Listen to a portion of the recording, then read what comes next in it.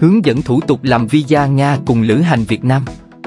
Bạn đang lên kế hoạch khám phá xứ sở Bạch Dương nhưng chưa biết làm như thế nào để xin được visa. Đừng lo, video này chính là cẩm nang dành riêng cho bạn. Cùng lữ hành Việt Nam tìm hiểu quy trình thủ tục xin visa Nga từ A đến Z cực kỳ nhanh chóng, đơn giản và đảm bảo chính xác. Nga cung cấp nhiều loại visa khác nhau tùy vào mục đích nhập cảnh và thời gian lưu trú. Dưới đây là các loại visa phổ biến khi nhập cảnh Nga, visa du lịch, thời hạn 30 ngày, không gia hạn. Visa công tác, thời hạn 30 ngày, 90 ngày hoặc 1 năm, nhiều lần. Visa du học, thời hạn 3 tháng và có thể gia hạn hàng năm tùy vào chương trình học. Visa lao động, thời hạn thường từ 1 đến 3 năm và có thể gia hạn. Visa quá cảnh, thời hạn thường từ 24 giờ đến 10 ngày.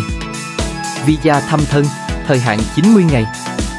Visa nhân đạo, thời hạn 90 ngày, có thể lên đến 1 năm, nhiều lần. Visa tị nạn, thời hạn tùy thuộc vào sự chấp thuận của chính phủ Nga. Thời gian làm visa Nga từ khoảng 6, 8 ngày kể từ ngày nhận hồ sơ. Khách hàng có thể liên hệ đến số hotline trên màn hình để được biết thêm thông tin về giá trọn gói làm thủ tục visa Nga.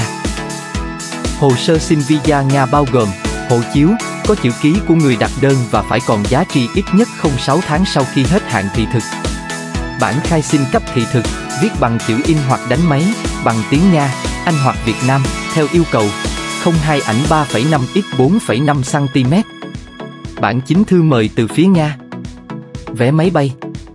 Bảo hiểm y tế, du lịch và tai nạn hay một bảo hiểm du lịch quốc tế cho toàn bộ thời gian chuyến đi và có giá trị cho tất cả các nước thuộc khối Schengen với mức trách nhiệm tối thiểu của công ty bảo hiểm là 30.000 euro. Quy trình dịch vụ làm visa Nga trọn gói tại lữ hành Việt Nam. Bước 1. Tiếp nhận yêu cầu dịch vụ visa, tư vấn, đánh giá tổng quan hồ sơ. Bước 2. Ký hợp đồng dịch vụ, nhận hồ sơ và các giấy tờ cần thiết.